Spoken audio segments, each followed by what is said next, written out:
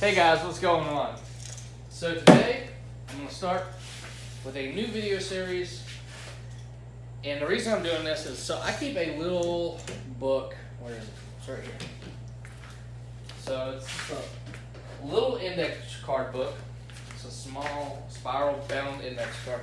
And I keep all my box designs that I ever do in this book.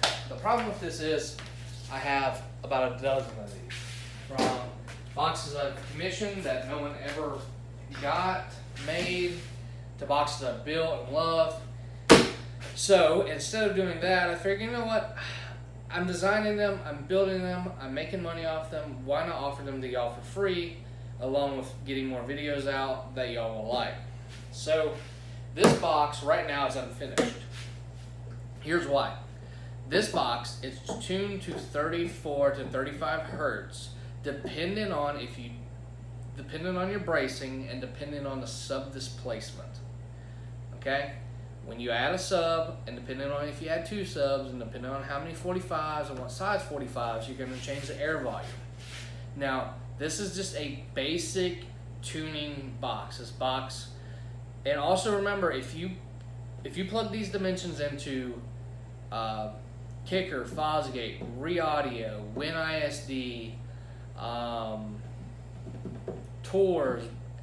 If you put this into all of those calculators, all of them, it's kind of funny because some of them will give you the same cubic foot measurements and some will give you different, but they'll also give you different tuning even with the same parameters.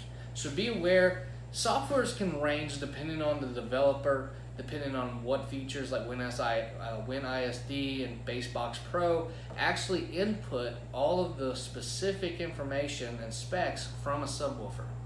So those two, WinISD and uh, BassBox Pro, they give you more in-depth, accurate calculations, but they do cost a lot more money.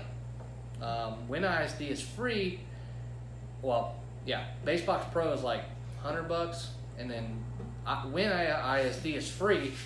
Um, Torres is no longer available from Torres.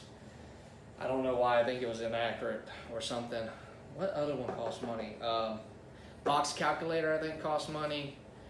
And there's a few. There's a ton of apps. There's there's apps and programs. So you got programs for the computer that are only for the computer, and then you got some that are multi-platform.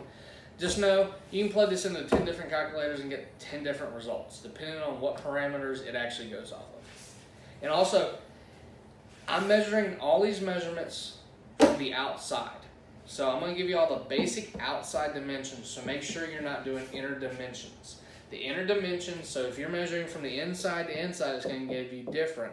Most apps will actually be like, all right, what is the actual size of the external or internal? And then I ask you for the wood size, like 0.75 would be three quarter inch, and this is MDF.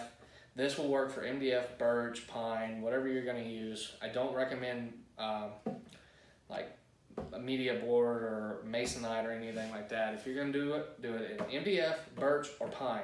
Three quarter inch. The more layers, the better the wood. So let's get started.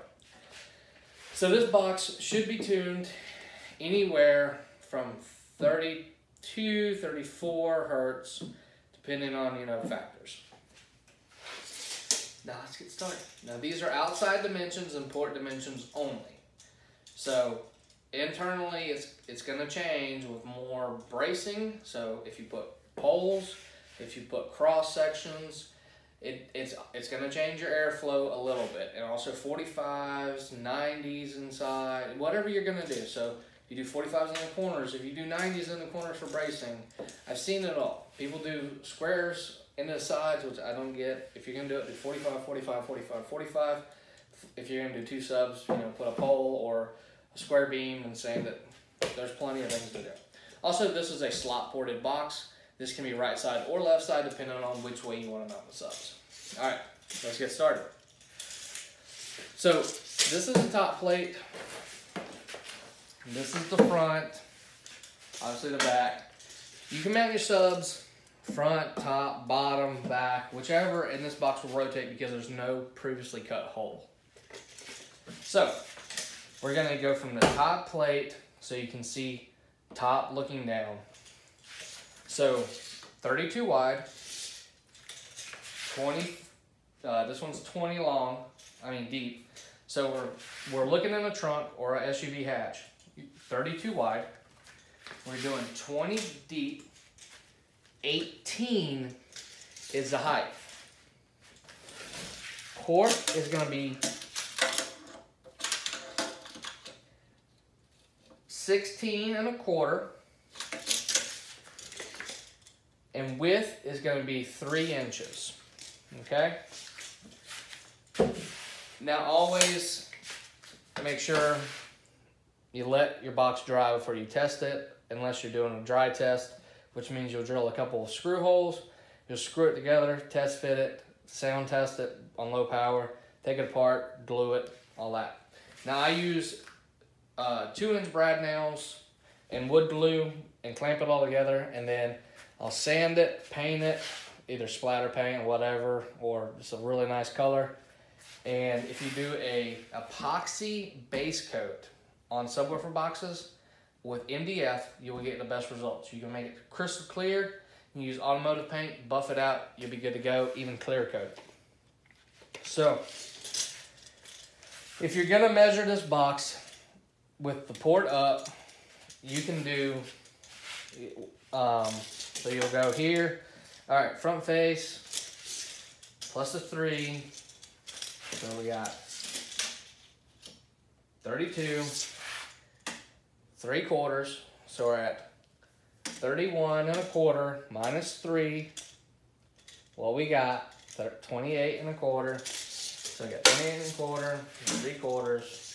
Port is set on the inside. Mark your line so you're so you know where the uh, nails or screws go. This box, it will do good with a 15. It will do good with, you can technically do an 18 on top. So if you're doing top or the bottom, looking at the way I am, you could put an 18 here, 18 on the bottom, and just flip it so your port will be on the, if you're looking at it, it'll be on the left. Right now it's on the right. So this is the top, port on the right. This is the top, port on the left, if you see how that works. So you can do a single 15, single 18. You do two 10s on the front face. You could even get away with two 12s, it'd be kind of tight. You could do uh, you could get away with four 10s at a like a stagger. You could do five eights, eight six and a half. But obviously, sub displacement and everything is going to be a big factor on this, guys. But this is a basic design, 32 wide, 20 deep, 18 tall. Outer dimensions. Thanks for watching, guys. I hope you enjoyed this video. I will be posting a video of this box in action. I don't know if I'm going to throw an FI BTL in it, if I'm going to throw the InMatch Juggernaut when it gets reconed in it. Or I might pick up a cheap set of 12s, throw them in there, and flip them. But thanks for watching, guys. This is going to be a um, pretty simple box build as well. All you need is a nail gun, um, a drill, um, screws instead of nails, wood glue, and MDF.